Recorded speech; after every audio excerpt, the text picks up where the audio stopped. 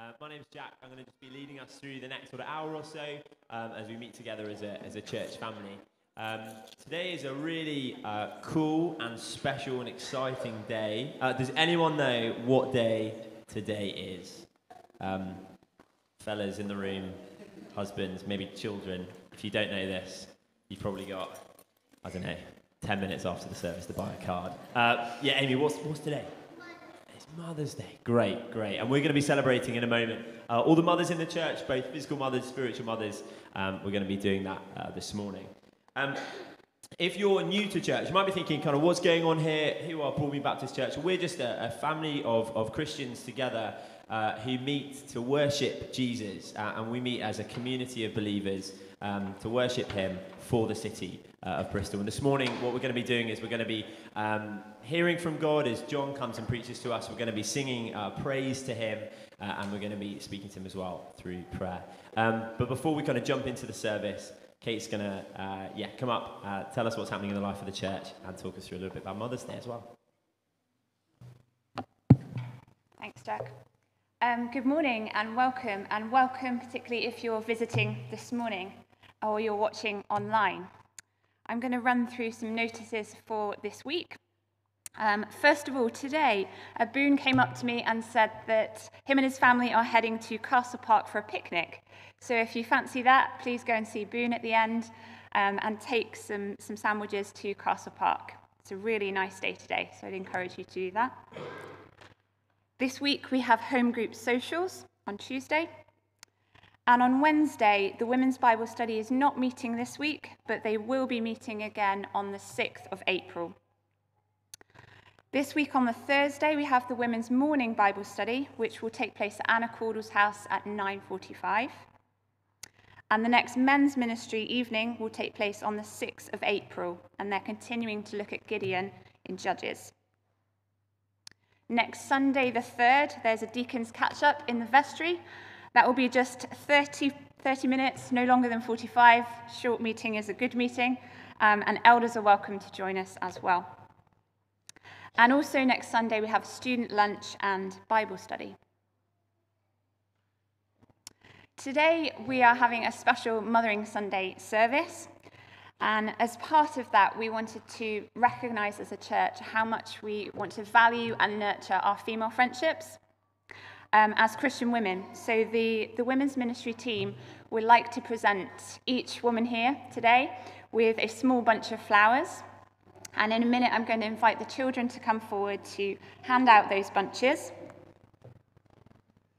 Also, as part of that, we are promoting the sale of this book, Caring for One Another. Um, Claire Everingham would have liked to have been here herself to introduce it. Unfortunately, she's not very well this morning. Um, but this is a great book by Ed Welch, who's part of Biblical Counselling UK. And it's a short book about eight ways to cultivate meaningful relationships. So if you'd like a copy of that, it's just £5. Please see Kathy Detzler after the service, and she'll give you details of how to get a copy. So a big thank you to Hannah Walker and my own mum as well, who's probably watching from home, for helping wrap some of these flowers that we're going to present now. Um, and also, yesterday, I had the pleasure of meeting some of the women who aren't joining us in the service, but who are watching online. Um, so I hope you're really blessed and encouraged by this morning as well. So, Amy, would you like to come forward? And Noah as well, and any other children who would like to help with this? And we'll go and get the flowers.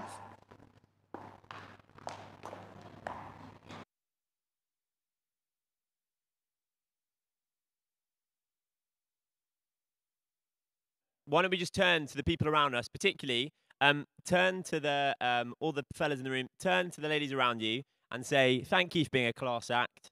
Keep up the good work. So let's do that now. Turn to them. Go.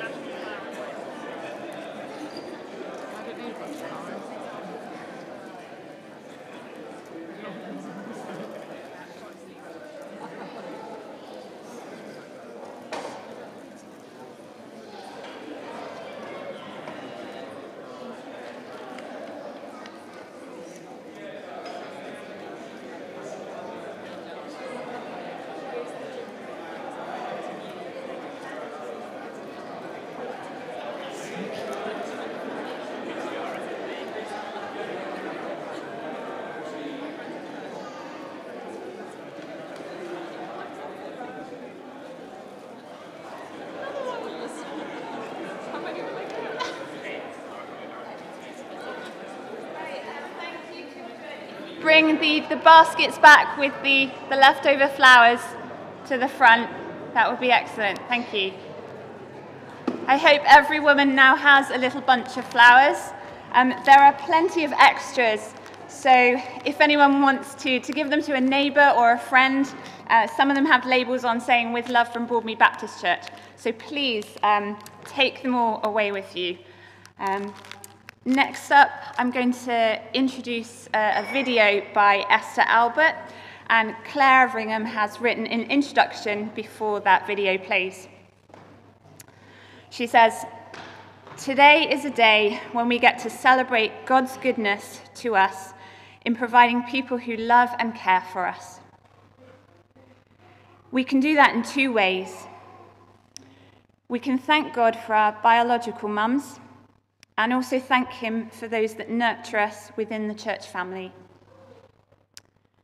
For some of us, Mothering Sunday can feel irrelevant and even painful in the face of a whole range of unmet longings. We really hope that church is a place where we can acknowledge both the blessings we've received as well as the ongoing struggles and disappointments that we face. So, in light of this, Esther is going to read out some reflections about the blessing of relationships that nurture and grow us within the church family. Thanks. 1 Thessalonians 5 verse 11 says, Encourage one another and build each other up. So I want to talk about this kind of love that I have received not only from my mom, my own mom, but also from women at church. For I truly believe that God put certain people on our path or we encounter them on the same spiritual journey. These are friends that extended out their hands and help us with their encouragement, support, and belief in us along the way. A true friend shares everything with his friend and loves him. To love another as Christ has loved us. Friendship has played an important role in my own spiritual growth. True friendship is a path of mutual equality and intimacy reaching toward God. We need spiritual friends who are close to us, who understand us, who will encourage us and counsel us, who will carry our burden but also get in our face when we are, we are being disobedient or harmful. Above all, we need friends who care about the way we are becoming or not becoming more like Jesus. We all need spiritual friends who help us submit God's sovereignty. You need people to come alongside you and remind you that God is in control, but also that He is good. You need people who are going to help you discern God's goodness and His sovereignty, specifically in, our, in your life when things are hard. You need sp- spiritual nurturing like that. I think we may need to repent of self protection and pride and then look for the chances to develop spiritual friendship. I'm not saying you need to open yourself up to everybody. I'm saying that you should ask God to show you one or two special people to whom you can open up your life. You can also uh, ask God to show you who you can move toward to support and encourage. I would like to share a little experience in this. At first, I felt shy and awkward, especially because of my English. I wondered whether I would really be able to share difficult things in a foreign language. I nearly cancelled meeting up a lady with from church, Sarah McLean, who some of you know, who offered to meet me. But not cancelling the meeting changed everything. I can't describe the difference she made to my life when my own mother was far away and I was struggling with the grief and uncertainty. Sarah always brought me such deep encouragement. I never knew that this would be friendship for life. that we would still be in touch on a weekly basis despite despite her moving to America. And God has brought others into my life too. People who go on supporting me through every stage, always reminding me of Jesus and how amazing He is. This woman has inspired me to reach out to others and offer them the same encouragement and love that I have received. And so now I have the joy of supporting others. So I argue to ask God to help. Ask God to bring that kind of person into your life. Ask yourself where you could create more margin in your life, where you could welcome others in. Thank you. Brilliant stuff. Thanks so much, Esther. Um, we're going to be uh, kind of moving on to the next part of our service. We, we're going to be singing together. Um, but before we do that, um, I just wanted us to take a bit of time. We've got flowers in our hands, kids rushing around, just to to stop, to pause, um, as we come before God together.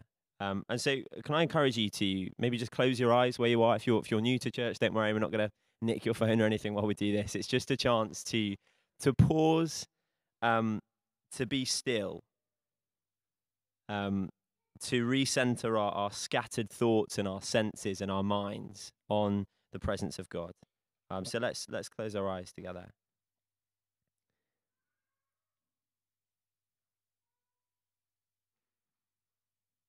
Psalm 96 says, Worship the Lord in the splendor of his holiness. Tremble before him, all the earth. As we as we come before God this morning, we're just reminded, aren't we, of just his yeah, his incredible love for us, for who he is, for what he's done for each of us, for the fact that he sent his son Jesus to come and die on the cross for us. And actually, as we as we come before him and we're reminded and see just how holy and awesome and powerful and mighty he is, we see ourselves in comparison to that. And we see that we fall short so much uh, of that perfect standard of, of who he is.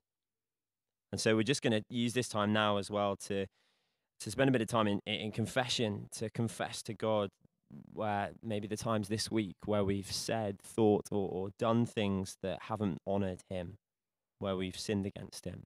So let's just spend a bit of time now just in prayer, coming before God, confessing those things and, and asking for His forgiveness. So let's do that now.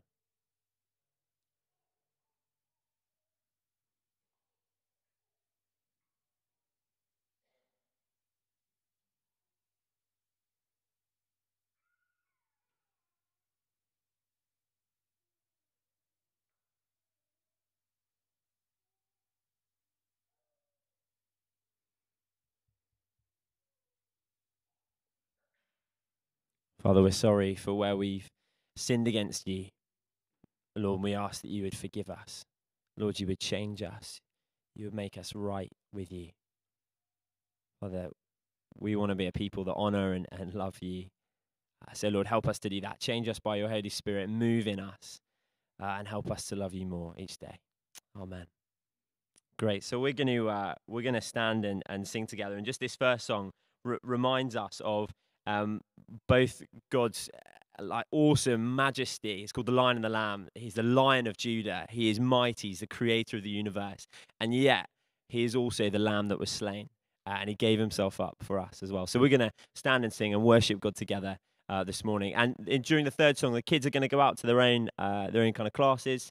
Um, but all the rest of us, why don't we stand and sing and worship God?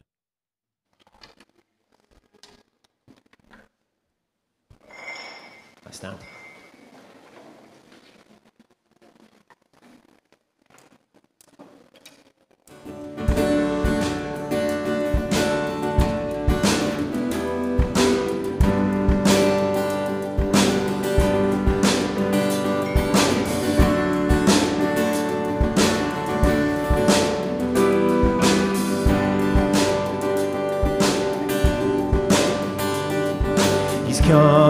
on the clouds. Kings and kingdoms will bow down. And every chain will break as broken hearts declare his praise. For who can stop the Lord Almighty? Our God is the lion, the lion of Judah. He's roaring with power and fighting our battles, and every knee will bow before him. And our God is the Lamb, the Lamb that was slain for the sins of the world, and his blood breaks the chains. And every knee will bow before the lion and the lamb, and every knee will bow before him.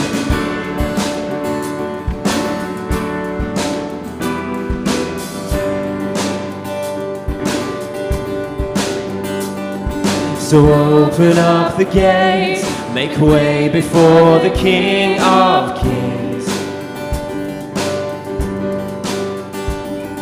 The God who comes to save is here to set the captives free. For who can stop the Lord Almighty? Our God is the lion, the lion of Judah. He's roaring with power and fighting our battles, and every knee will bow before him. And our God is the Lamb, the Lamb that was slain for the sins of the world, and his blood breaks the chains. And every knee will bow before the lion and the lamb, and every knee will bow before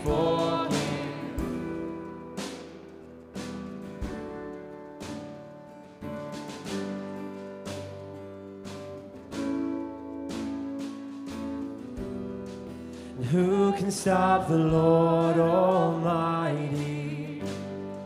And who can stop the Lord Almighty? Who can stop the Lord Almighty? Who can stop the Lord Almighty? Who can stop the Lord Almighty? Who can stop the Lord Almighty? Who can stop the Lord Almighty? Who can stop the Lord? And our God is the lion, the lion of Judah. He's roaring with power and fighting our battles, and every knee will bow Our God is the Lamb, the Lamb that was slain for the sins of the world, and His blood breaks the chains. And every knee will bow before the Lion and the Lamb, and every knee will bow before Him.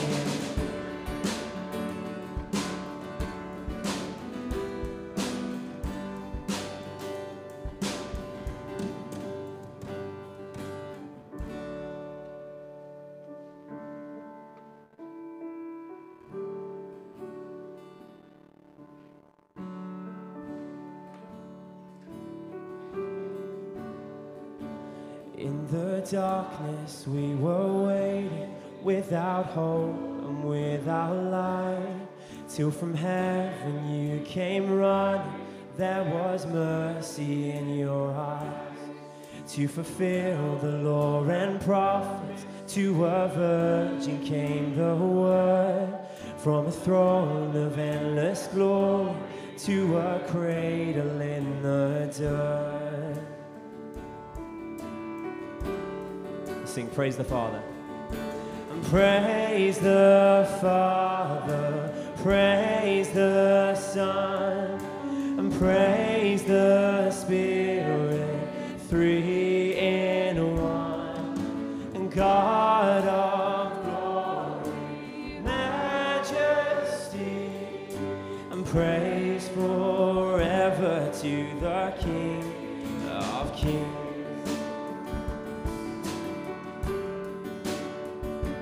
to reveal the kingdom's coming and to reconcile the lost, to redeem the whole creation. You did not despise the cross, for even in your suffering, you saw to the other side, knowing this was our salvation. Jesus, for our sake, you died.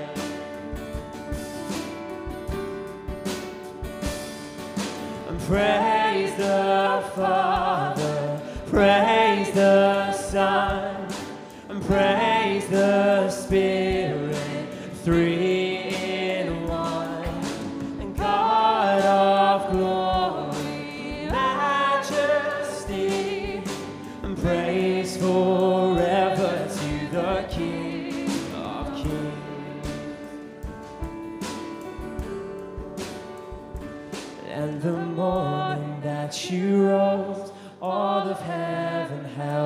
breath, till the stone was moved for good, and the Lamb had conquered death. And the dead rose from their tombs, and the angels stood in awe for the souls of all who'd come to the Father are restored. And the church of Christ was born, and the Spirit lit the flame. Now this gospel truth of all, it shall not kneel, it shall not faint. And by his blood and in his name, in his freedom I am free. For the love of Jesus Christ, who has resurrected me. Oh, and praise the Father, praise the Son, praise the Spirit, three in one. And God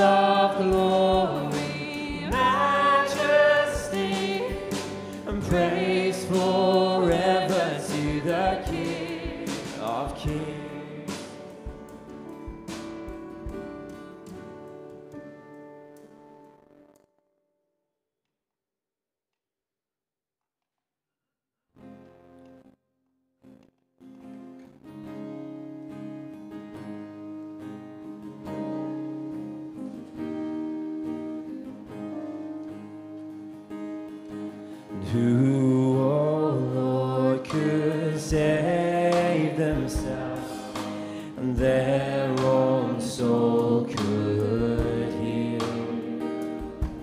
Our shame was deeper than the sea, and your grace is deeper still.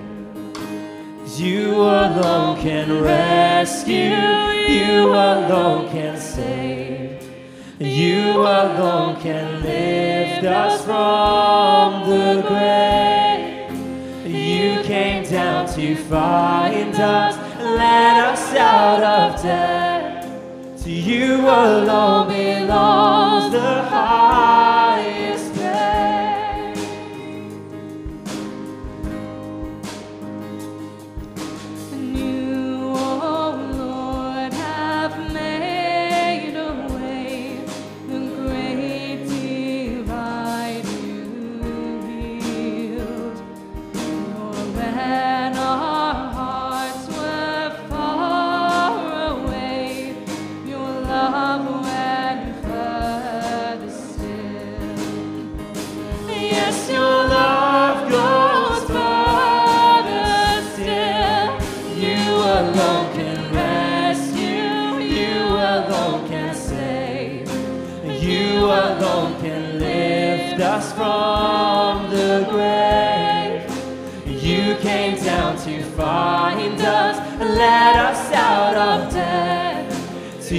alone belongs the highest praise.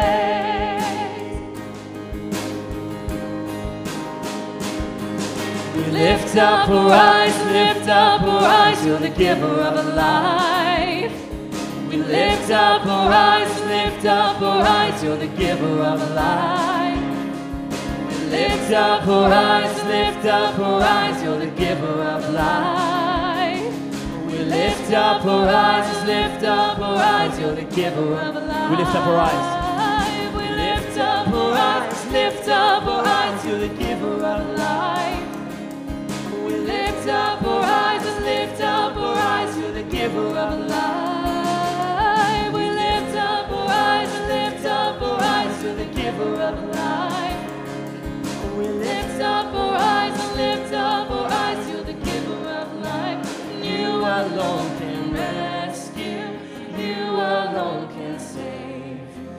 You alone can lift us from the grave.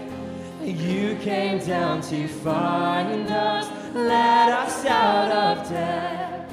To you alone belongs the highest praise. To you alone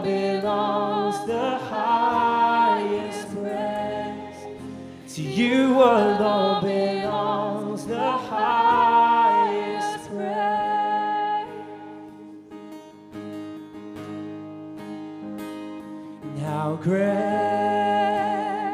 is our God? And sing with me, how great is our God? And all will see how great and how great is our God. Let's sing that together. Let's declare it. How great is our God? And how great is our God? And sing with me, how great is our God? And all will see how great and how great is our God. The splendor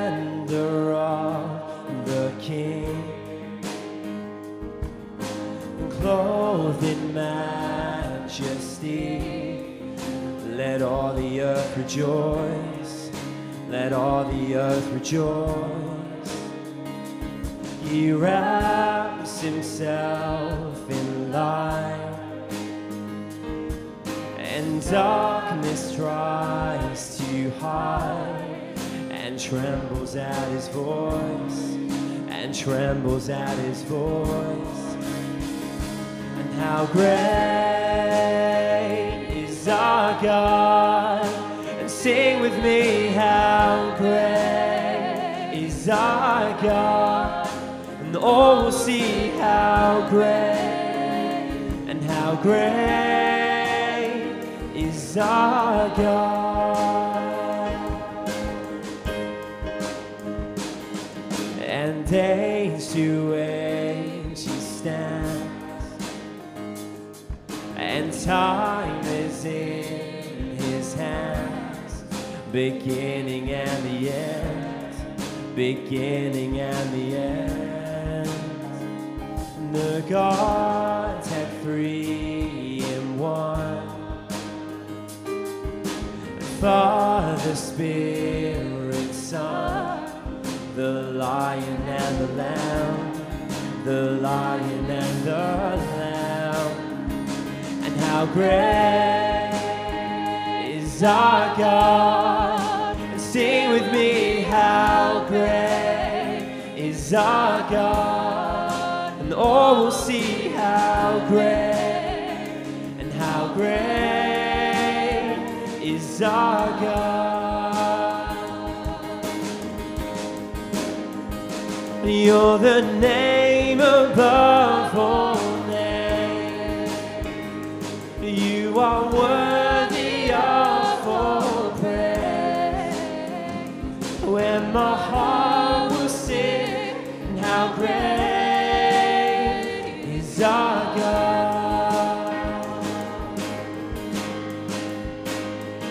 You're the name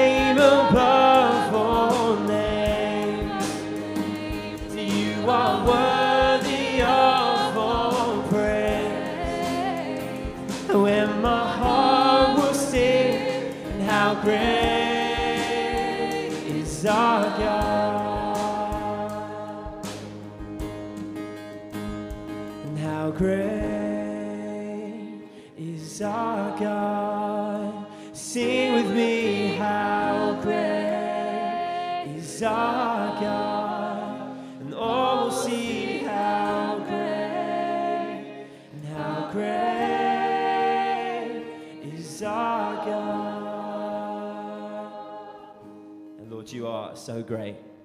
Father, you are an incredible, mighty, just wonderful Savior.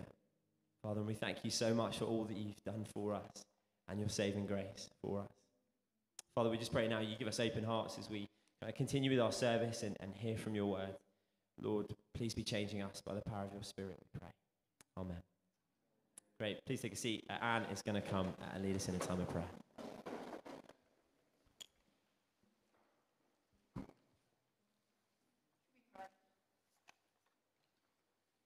Father, as we come before you now, we bow down in our hearts to you, our God and Maker.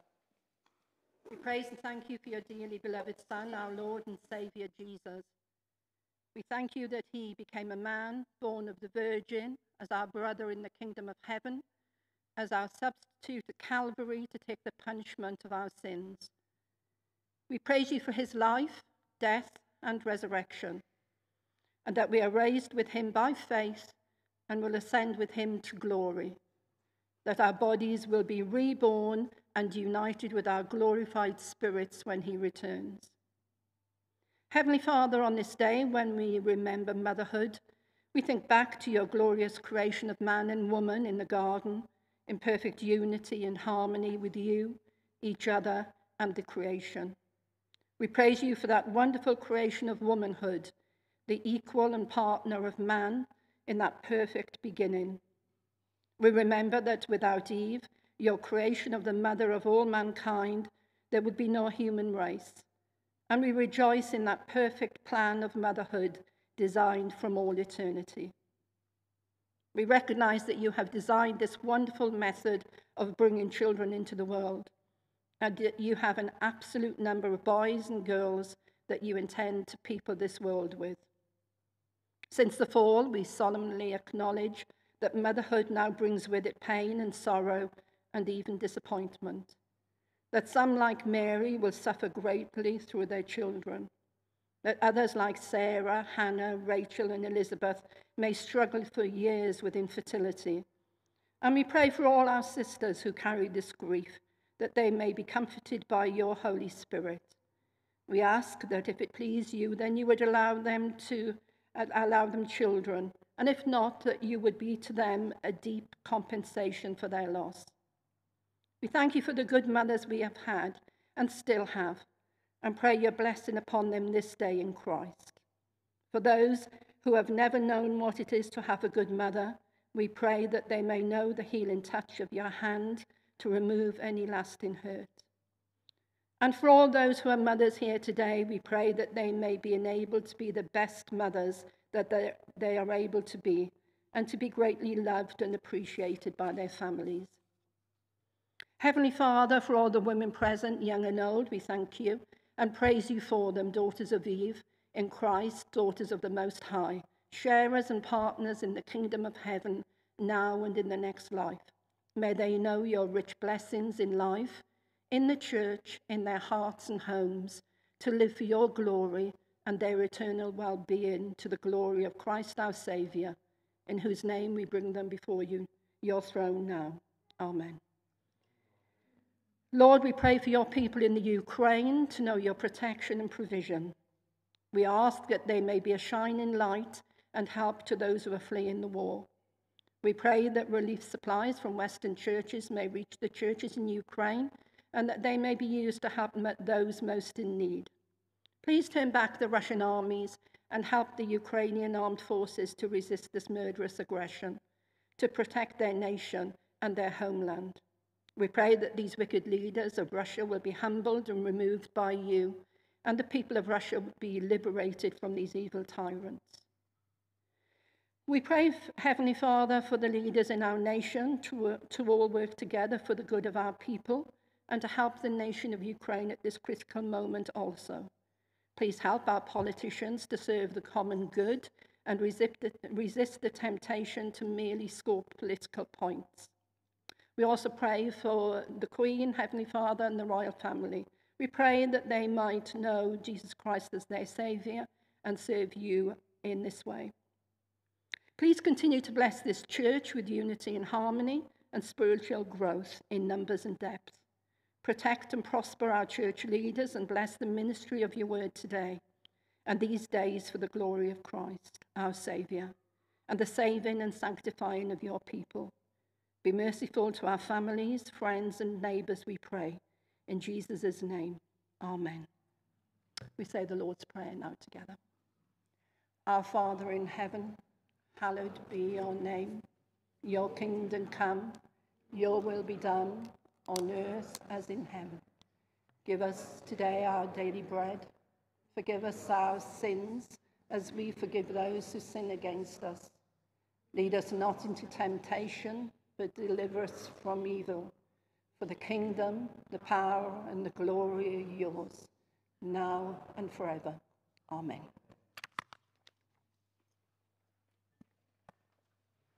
Thanks, Anne. Um, great. We're, we're kind of continuing a little um, mini sort of interview series uh, as we kind of go through each week.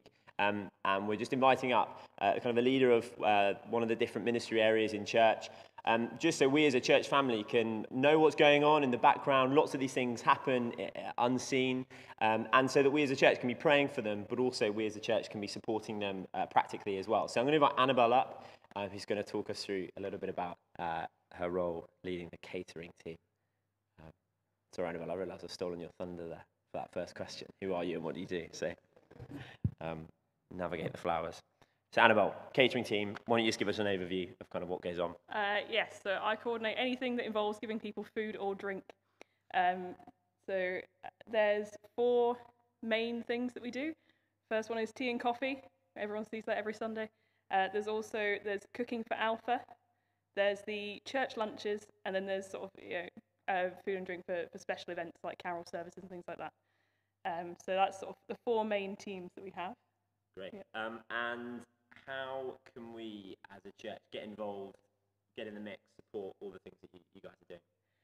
Well, um, yeah, anybody's welcome to get involved. You don't necessarily have to know how to cook or anything like that. Okay? People that can wash up or follow instructions and chop vegetables are just as valuable as people that like are confident in the kitchen. Okay, so um, yeah, if you want to get involved at all, let me know. Uh, the big thing that's coming up for you to get involved with uh, soon is Alpha. Have we got a date for Alpha yet? End of May, start of June. So that'll be eight weeks of, um, yeah, uh, providing a meal for Alpha. So if you're willing to get involved in that in any way, either coordinating or yeah, just washing up, uh, then let me know. Great, thanks so much. And how else can we be praying for you as a team and um, yeah, for you kind of as you lead that? Uh, so I think with, with hospitality, it's really easy to distill it down to just a practical thing and try and do it in your own strength.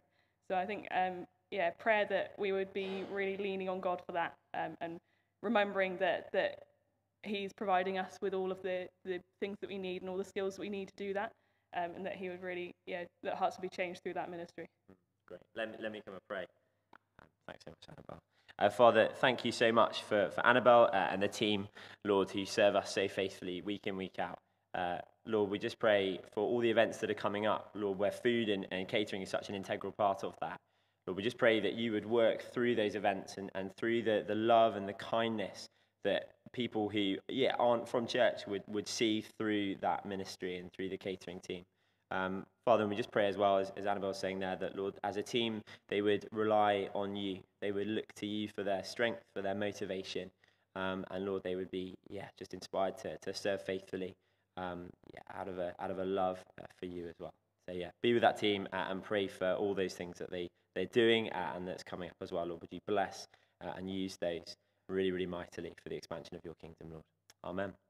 Brilliant. Thanks, Annabelle. So, basically, anyone who can chop veg or wash up which I think is 100% of all of us. Um, but yeah, thank you so much. And, and if you're um, kind of not serving in church and, and feel that that would be an area of ministry that you, you'd like to support with, um, please go and speak to Annabelle after as well. Um, great. We are going to turn to our, our passage this morning. Blue Bibles uh, the front of all the seats in front of you. So we're on page uh, 1026, 1026, uh, Luke chapter 1, verse 46 to 55 give you a few moments to find that.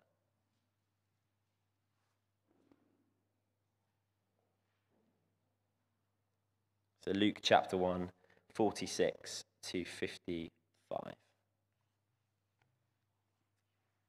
Great. Let's read together. And Mary said, My soul glorifies the Lord, and my spirit rejoices in God my Saviour, for he has been mindful of the humble, uh, of the humble state of his servant. From now on, all generations will call me blessed, for the mighty one has done great things for me. Holy is his name. His mercy extends to those who fear him from generation to generation. He has performed mighty deeds with his arm. He has scattered those who are proud in their inmost thoughts. He has brought down rulers from their thrones, but has lifted up the humble. He has filled the hungry with good things, but has set the rich away empty. Has sent the rich away empty. He has helped his servant Israel, remembering to be merciful to Abraham and his descendants forever, just as he promised to our ancestors. John. I'll just pray uh, first. Father God, please be with us now. Please give these words wings into our hearts. Please may we be receptive to what you're saying. In the name of Jesus Christ. Amen. Any love triangle is hard, so I've been told.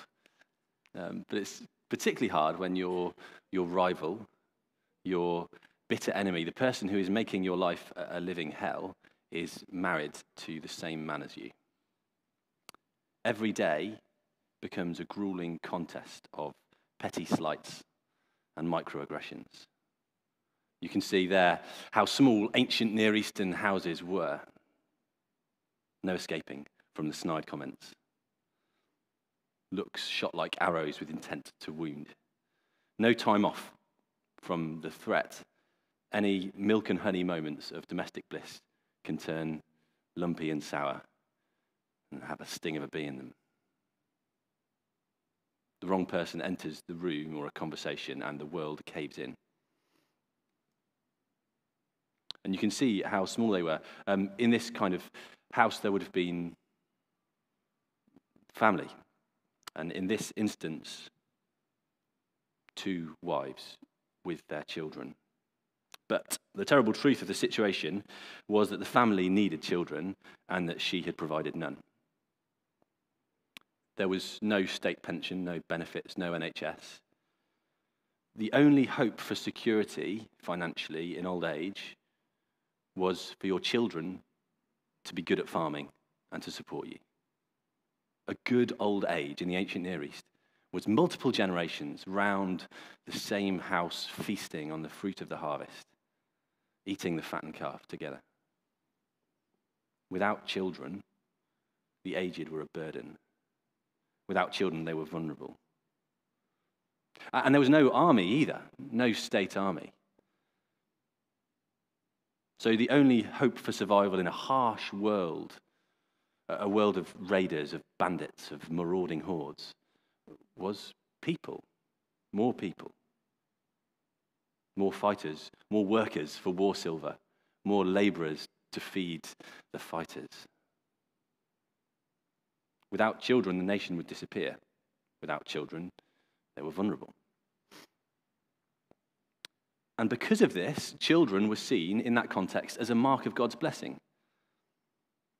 The people relied on God for food, they relied on God for protection. And, and how is God going to feed them in old age?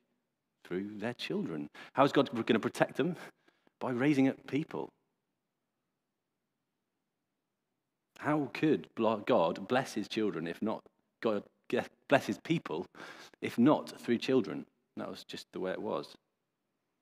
So, Mothering Sunday, if they had such a thing in ancient Israel, which they didn't, um, would have been excruciating for her. Partly because of that context, but partly because her rival, her bitter enemy, had sons and daughters and loved to rub her face in it. So every mealtime was a reminder of her childlessness. Every religious festival was a reminder of God's absence. Every night she spent alone was a reminder of what she didn't have. Motherhood mattered to her. And the Old Testament is full of stories like that, and Anne helpfully referenced some of them in her prayer stories of heartbreaking childlessness. And it's easy to rush to the happy ending, because this story does have one. Hannah does get children, and her first child has a massive impact, changes the course of history. But in those days, having children was a much bigger deal than we can imagine now. Children were born for the good of the family, the good of the nation, the protection of Israel. They would continue the family line. They'd become soldiers to fight. They would remove shame. They would bring economic security. Motherhood mattered in the ancient world, and it mattered to Israel, and that's a lot of pressure. And the Bible is real about the difficulties of that kind of pressure. It doesn't shy away from the destruction that it reaped. And we see the havoc created when so much emphasis is placed on motherhood and someone doesn't have children. Lots of those stories are, are really, really sad. There were whispers of hope, prophetic words like this Sing, O barren one who did not bear, burst into song and shout, you who have not been in labor. And there were stories like that of Hannah, and Sarah, Rebecca, Rachel, the Shunammite, um, Samson's mum as well. Women who'd given up all hope of having children, then had them. And there were so many stories like that. And Luke starts his story in the same way. A woman who had been unable to have children, Elizabeth, becomes pregnant. Praise God. This is something he does. Motherhood matters.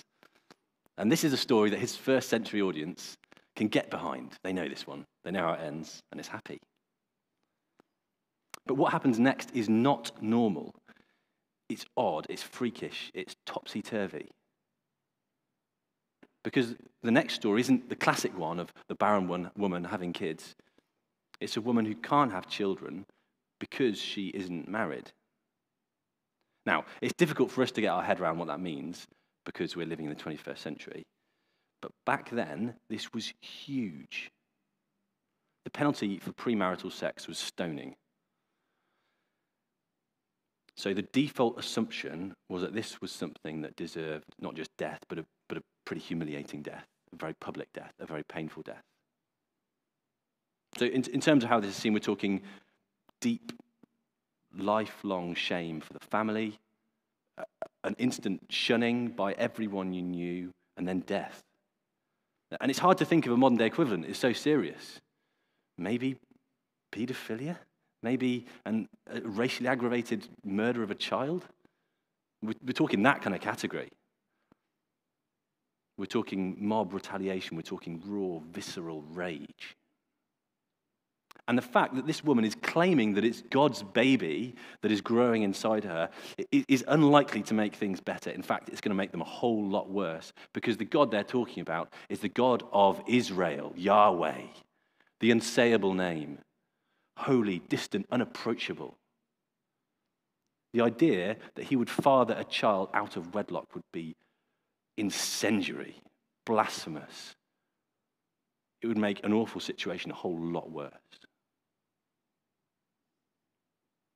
But this is God's doing. God is the Father. He's ripping up the playbook. This changes everything, this birth. Because God does something he's always been doing, but he does it differently.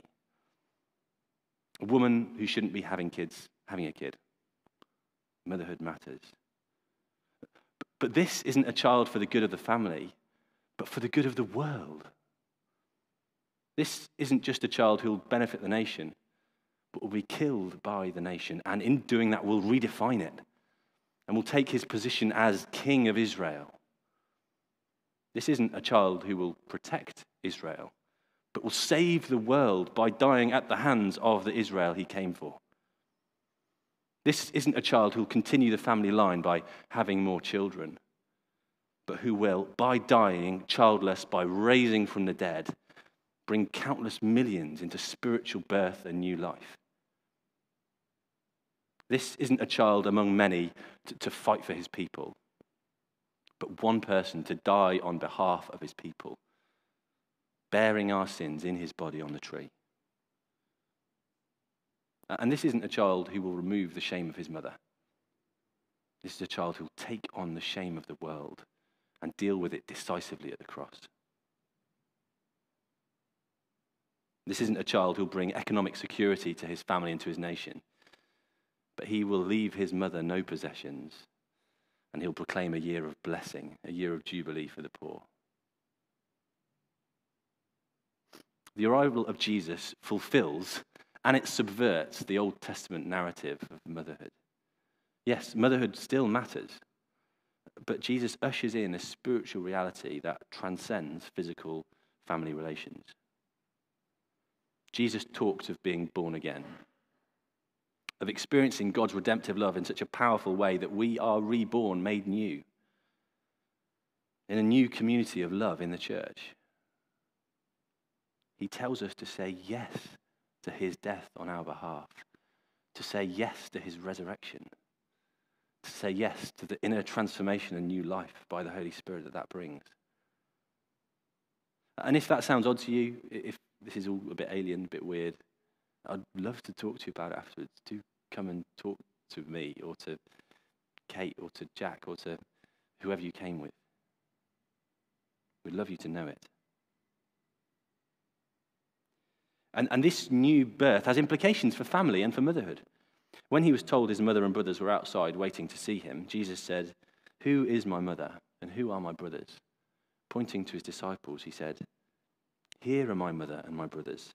For whoever does the will of my Father in heaven is my brother and sister and mother.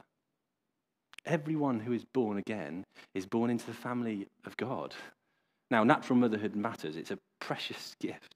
I have so much respect and thanks for my mother and, and all the mothers I know. It's hard work, it's precious hard work. But it's not for every woman. Spiritual motherhood is. And it matters. It's profoundly important in the life of the church. And we're going to talk for the rest of the time about what a mother, what spiritual motherhood is and what a mother does. And we're going to talk about that in a spiritual sense. What does a spiritual mother do? But there's a broader application because everything we're saying applies to natural motherhood too. As nurturing children spiritually is an important part of that. And also, for the blokes here, I think there's a lot we can learn from this. Feeding is a really important uh, part of motherhood. It's a source of personal sadness that I will never breastfeed. Um, but it's not easy for lots of women either. It's not always easy to start it. It's not always easy to, to get it going. It's, it's not possible necessarily in every instance. But the reason why many people, why many women push through the difficulties um, of breastfeeding, why many people you know, keep going even through the pain, is because it has real value. It's a really bonding thing. It's close contact, contact between mother and child. It's, it's intensely personal way of feeding a person, isn't it? And also it has health benefits. The, the child gets immunity from the, the milk of, its mother. It's protected from diseases that its mother's protected from. And it's interesting, uh, the, the food that the mother eats gets passed on to, to the kid pretty directly between 1 and 24 hours to, to pass it on. But the goal is weaning, right? I watched a segment of news and it was about a woman who was still breastfeeding a seven year old. It's like, that's not right. The point is, they need to grow to maturity, they need to move away from breastfeeding. The goal is maturity from dependence to independence, being able to feed themselves, to interdependence, being able to feed others. You want adults who are capable of feeding themselves and also capable of hosting, capable of raising a family of their own, maybe.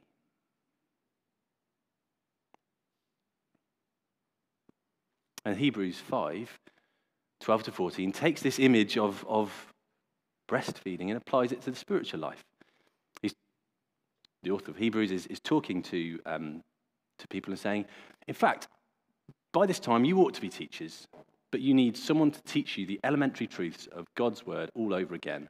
You need milk, not solid food. Anyone who lives on milk, being still an infant, is not acquainted with the teaching about righteousness. But solid food is for the mature, who by constant use have trained themselves to distinguish good from evil.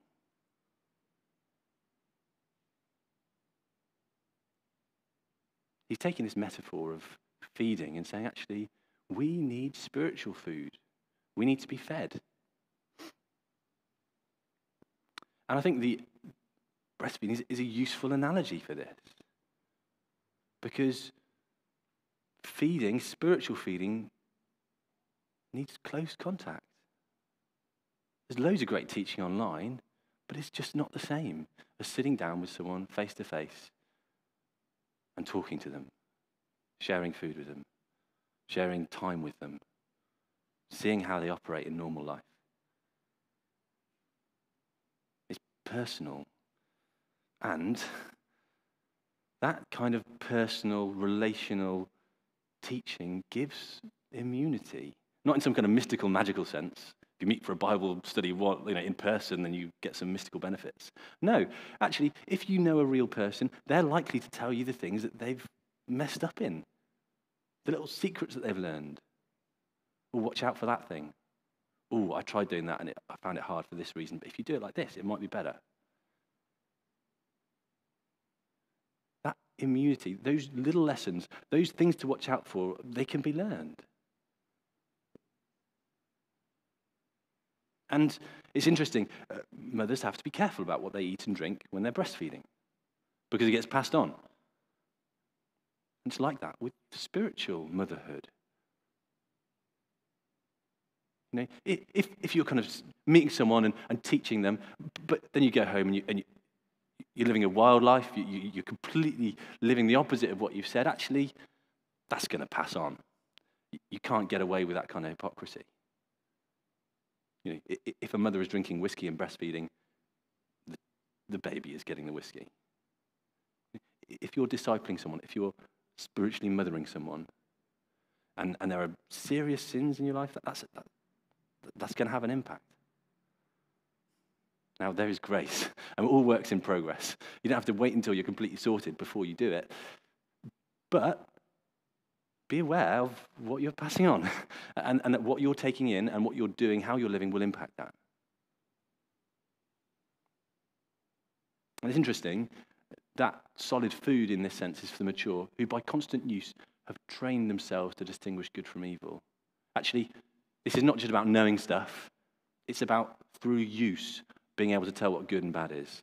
It's about how you live. It's about making decisions should I do the good thing or the bad thing now? And then making the right decision.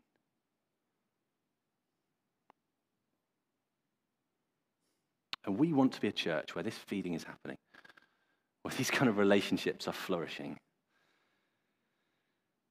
Nurturing, caring relationships. Not everything from the top, but a, community of people who nourish one another. And new Christians particularly need milk. So if you're here and you're a new Christian, seek people to, to get this kind of nourishing milk from. and if you're here and you uh, have been a Christian for a while, then seek people to offer that to. Not to shove it down them, but be ready and to be open and receptive and, and hungry for that. Could you explain the faith to a new believer? You should be able to.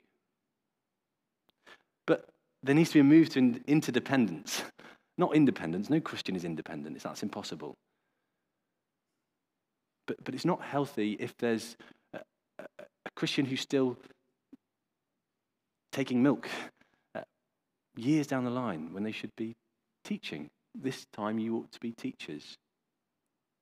Now, I don't know about you, but when I'm feeding myself, I can be really, really lazy criminally lazy. Some of my meals have been awful, so awful I'm almost embarrassed to say them now.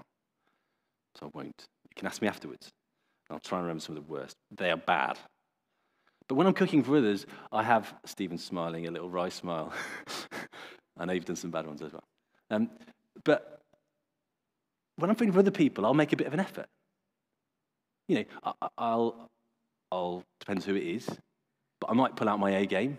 Might out my B game or my C game, but There'll be a bit of game, there'll be some kind of game.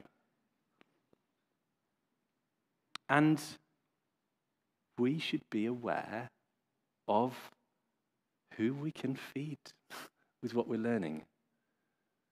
We want to be disciples who are growing, and we should be anticipating who can I tell this to? God's given me these ingredients. How can I prepare them? And when can I serve them? And who to? And how can I make it not just nourishing, but also tasty and digestible?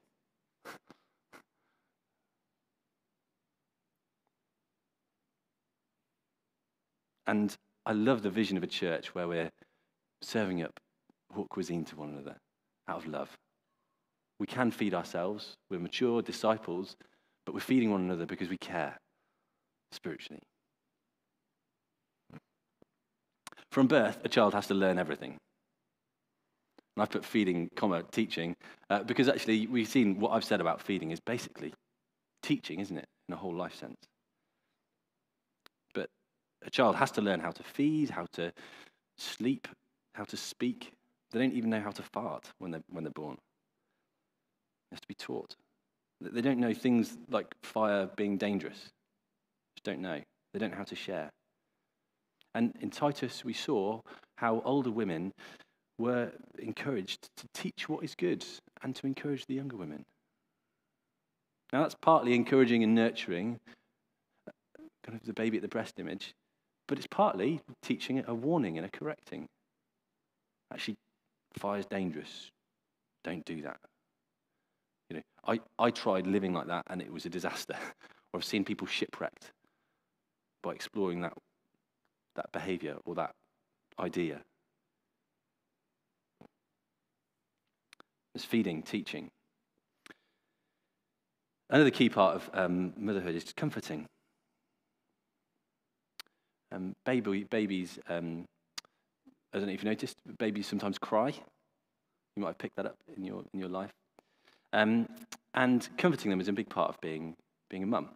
And you, you've got to work out what it is that's making them cry. And sometimes that is a mission. What on earth is this little bundle of humanity upset about? Sometimes I don't think they know. And then once you've worked it out, if you can, addressing it. But, but often, when a baby has its need addressed, it's still crying, it still needs comfort.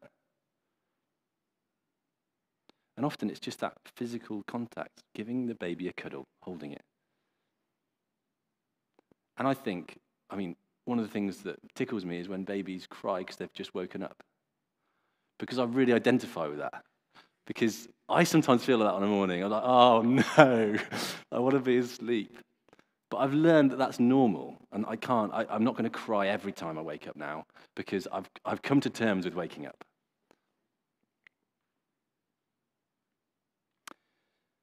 And in comforting people, being spiritual mothers is partly about working out what it is.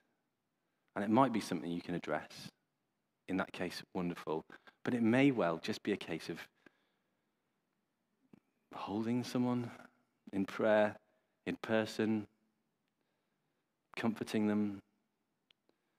And for a new Christian, particularly, normal parts of Christian experience might be traumatic like waking up for a baby. When people are new Christians, there's often a, an intensity to their times with the Lord. They read the Bible and their minds are blown every time. And the first time that doesn't happen, it can be, what am I doing wrong? Am I, you know, surely I'm meant to be feeling the warm, fuzzy feeling I felt yesterday. Help. Spiritual motherhood is saying, no, it's okay. That's normal. That happens to, to all of us. Another part of motherhood is treasuring. Oh, no, let's look at Psalm 133 first. I love this verse. I want to read it out loud. I've calmed and quieted myself. I'm like a weaned child with its mother. Like a weaned child, I'm content. Israel, put your hope in the Lord both now and forevermore.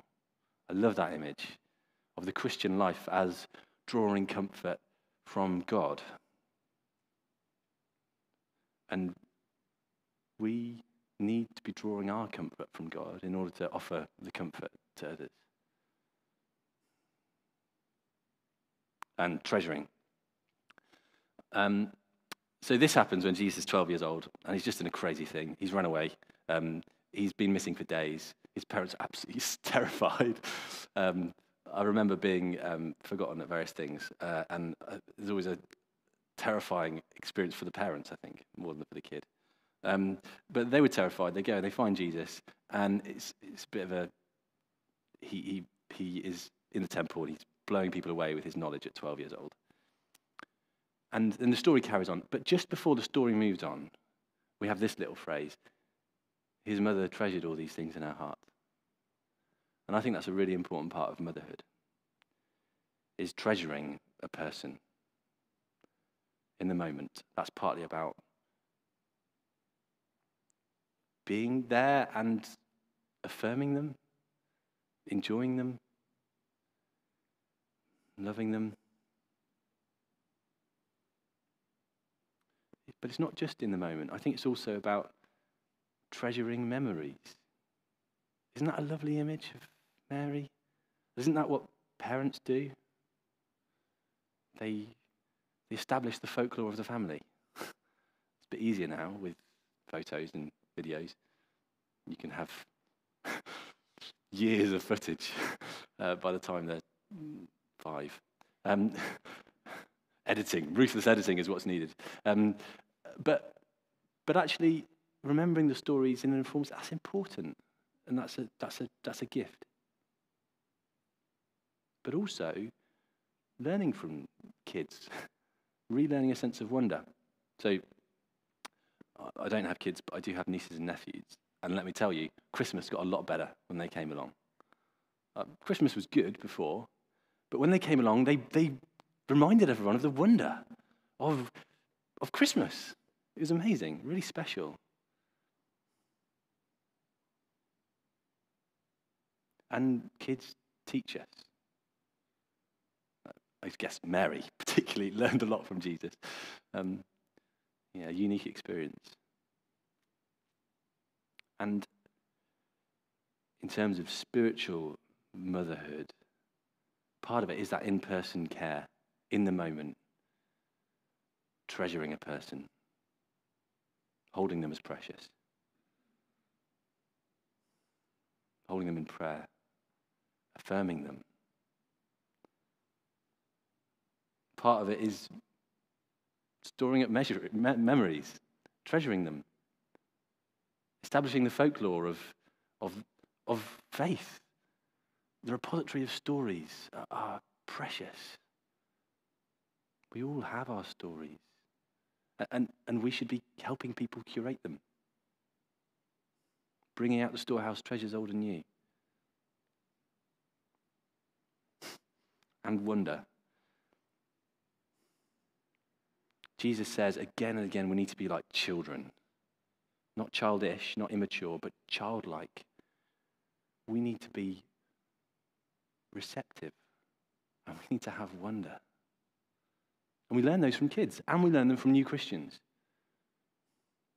Wow, Jesus died for me. That's, that's amazing. But we can so easily become jaded. We can so easily lose that. And we need to be ready to learn, have that receptivity from the people that we're ministering to. People teach us stuff. There's never an instance where I'm meeting up with someone and I'm not open to learning from them. But treasuring people doesn't mean giving people what they want all the time. Again, children need to learn boundaries part of spiritual motherhood is that is is treasuring people yes but also saying no sometimes saying no firmly sometimes. And knowing when to say that and how to say that is real takes real skill real tenderness. We don't always get it right either.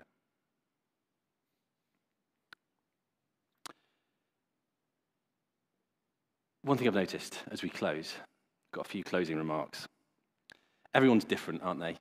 And I think one of the real dangers of motherhood is people comparing themselves to one another. Who's, who's the better mum or dad? Everyone's different, right? And people raise their kids differently, and that's fine. There's some stuff that isn't fine. Um, you can't just raise a kid anyway, but there's loads and loads of good ways of raising a kid. And again, with spiritual motherhood, it's the same. Not everyone's going to be the same. Some people have got brains like planets. Some people are really funny. Some people are really naturally warm You know, you, you may be the person who somehow has all of those, but you, you're not really, are you? Be honest. Um, so don't try and be someone you're not. Just be yourself. Just love the person that's in front of you. Nurture them, care for them, feed them, treasure them, comfort them.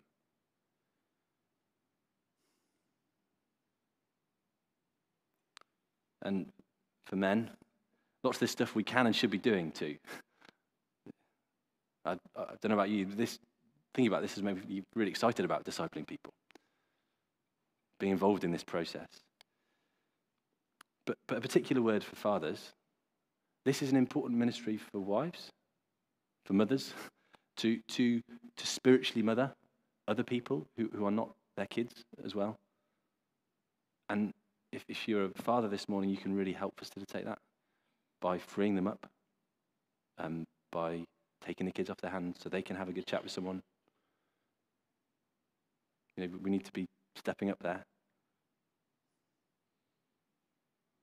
And it's interesting, so far I've talked, I've taken on Mother's Day as it's presented to us. But actually, the original meaning of Mothering Sunday was you went to your mother church. So a bit awkward. Um, it's changed in meaning massively. But I think it's really good that we celebrate motherhood and, and women more generally. Um, and, but, but it is important that we're not doing this as individuals. No man is an island. Not very generally inclusive line, but that's, that's how he said it originally. Um, and, the church is, is a community together. And we do this together. And we're called to disciple people together, to be a family. And actually, we are to have many spiritual children and, and to have many spiritual mothers. It's not healthy to get overly fixated on, on one person. And we are doing it together. Final comment. This could seem very kind of other focused. I can imagine someone listening and saying, well, what about personal development? You know, where does this leave the space for you know, being who you are? Christian living is about loving God and loving your neighbor. It's about living for others. And that's just, it's not motherhood, that's Christianity. And we are called to spend ourselves, all of us, to spend ourselves in love for one another. And I loved what Mark said about fruitfulness last week, where he said, it's, fruitfulness is looking behind you and seeing people that you've made a positive impact on. And let's do that. Let's build a legacy of people whose lives we have impacted for good. Let's be spiritual mums and dads. And let's, let's honor that work. And let's support one another in it. I'll pray. Father God, thank you so much for um, the gift of um, motherhood, both physical and spiritual, Lord. We pray that you'd help us to be a church where we are nurturing, feeding, comforting, treasuring one another. And we pray that in the name of the Lord Jesus and trust in his power to help us do it. Amen. Amen. Thanks, John. Um, we're going to uh, we're going to sing in response to that, and uh, and as we do that, there's going to be an opportunity to uh, to receive prayer as well. Um, so we're going to play through a song quietly and then sing our final song together. But um, there's obviously so much that we've covered in there that, that John's kind of walked us through. Um, and if any of it stood out to you, maybe it's around you know pain of, of motherhood or, or, lack of, or wanting to step into that place of being a spiritual uh, parent, mother, father, um, to be part of that culture of discipling others uh, and growing others. We would love to pray for you. Um, it's actually going to be, it's usually at the back, but we're actually going to do it over in the, the corner over there. Um, I just encourage you, if there's anything at all uh, of the fact, things that I've just said there or um, anything else that struck you during the service, please do go uh, make use of the team. They'd love to pray with you in, in confidence. Um, yeah, so please do that. But um, we're just going to play quietly, uh, a moment of reflection, and then we'll, we'll sing together.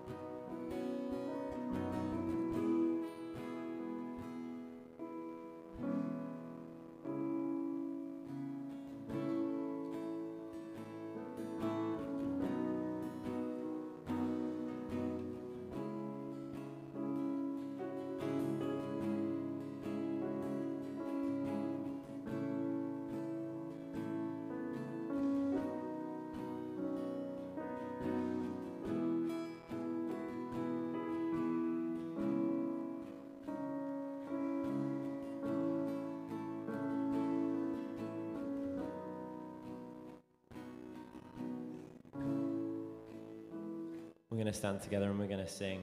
Um, and what we're going to sing is just the one we've been playing um, through there, Hosanna. And just the, the words in the bridge, I think, really remind us of what we've been looking at this morning that we want God to open up our eyes to the things unseen.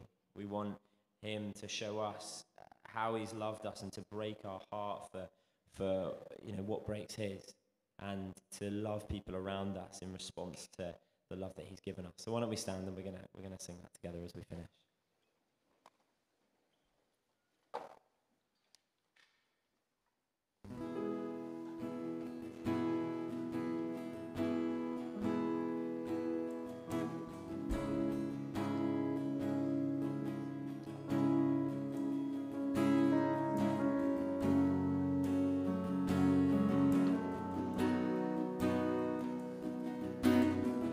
I see the King of glory coming on the clouds with fire. The whole earth shakes, the whole earth shakes. I see his love and mercy washing over all our sin. People sing, the people sing. Hosanna, Hosanna, Hosanna in the highest. And Hosanna,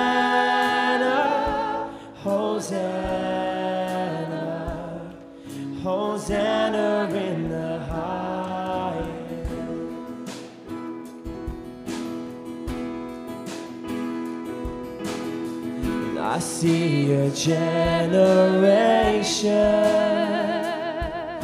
rising up to take their place with selfless faith, with selfless faith.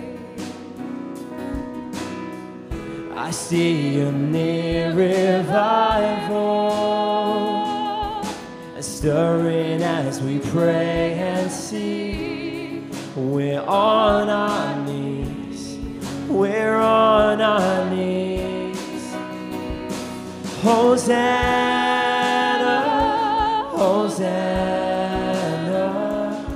and Hosanna in the highest.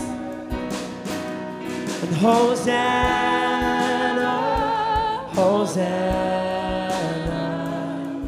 Hosanna in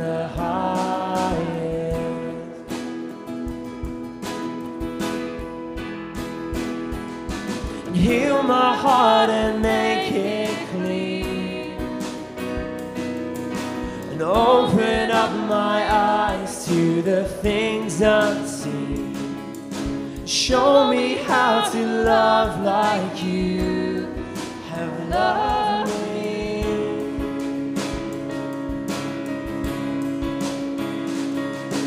And break my heart for what breaks yours.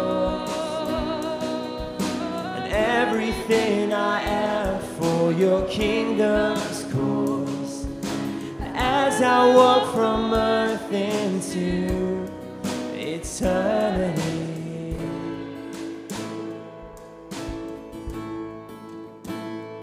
Hosanna, Hosanna, Hosanna in the highest.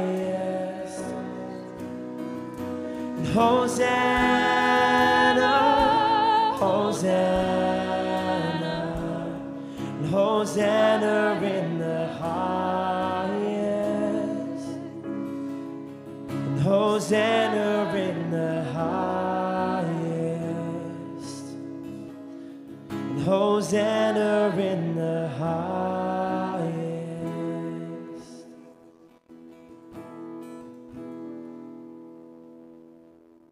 Amen. Please do take your seats. Um, that's the end of our, of our time together this morning. Um, as I said, please do use the prayer team. They're, they're there and would love to, to pray with you. We're just going to play quietly as they um, carry on kind of with the teas and coffees. Um, but happy Mother's Day. Uh, obviously, thanks so much for coming. Look forward to seeing you next week. Uh, let me pray just as we finish this morning.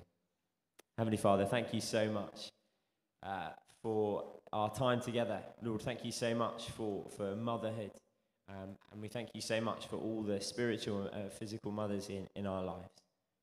Lord, as, as we prayed and looked at this morning, might we as a church adopt uh, that culture of, of motherhood, of discipling, of uh, yeah, raising up and maturing uh, each other. Father, help us to do that. Help us to facilitate that happening in our church. And, and Lord, for, for each of us, Lord, might we want to pursue you more uh, and grow in our faith and our love of you. We're moving away from, yeah, spiritual milk, so to speak, and, uh, and maturing, Lord. Help us to, to do that. Help us to grow in our love for you uh, and to, as we do that, to teach and disciple others. Uh, so, yeah, be with us, Lord, for the rest of today uh, and in the weeks to come. Amen. Great stuff. Uh, teas and coffees over there. Happy Mother's Day again, and I look forward to seeing you soon.